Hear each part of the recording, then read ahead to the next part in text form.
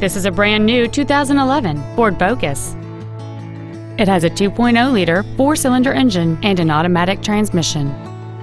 Its top features include fold-down rear seats, cruise control, steering wheel controls, a leather-wrapped steering wheel, alloy wheels, fog lamps, a traction control system, an anti-lock braking system, a rear window defroster, and satellite radio.